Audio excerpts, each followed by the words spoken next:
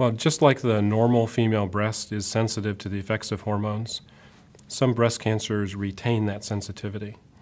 And we can tell with a fair amount of confidence which breast cancers are likely to be sensitive to the effects of hormones by whether or not the breast cancer cells contain a protein, the estrogen receptor, that is the receptor for estrogen. There's a similar protein as well called the progesterone receptor that, as it sounds, is the receptor for progesterone.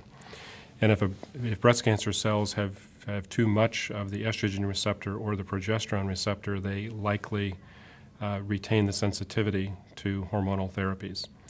There are a wide variety of hormone therapies that can be used. Uh, they can be uh, additive hormone therapies where we actually add hormones into the system.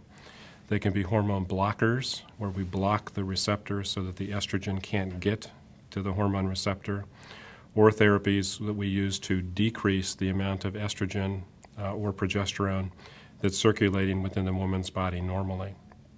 And the, the uh, breast cancers that are likely to be sensitive to those can be treated then with any one of those agents. There are a lot of advantages to that. One is that they, the uh, hormone therapies often control the breast cancer, especially again in women with receptor positive uh, disease when the, the therapy is effective, it is often effective for very long periods of time. Uh, and it also has uh, minimal toxicity, especially when you compare hormone therapy with chemotherapy.